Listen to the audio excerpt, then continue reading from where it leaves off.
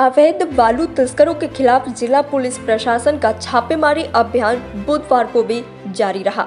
City SPR Ram Kumar के नेतृत्व में सराय ढेला थाना क्षेत्र के भुईफोड़ बाईपास चौक पर छापेमारी कर आधा दर्जन बालू से लदे ट्रैक्टर को जब्त कर पुलिस सराय ढेला थाना ले गई, जहाँ पर बालू से लदे ट्रैक्टर के मालिक और बालू तस्करों के खिलाफ एफआईआर दर्ज की।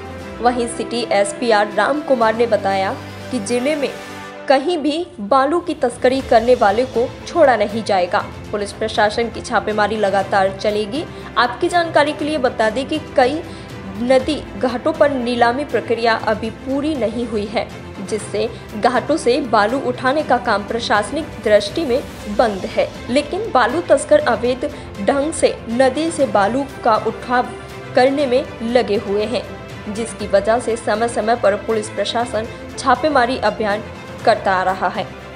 एच न्यूज़ की खास रिपोर्ट।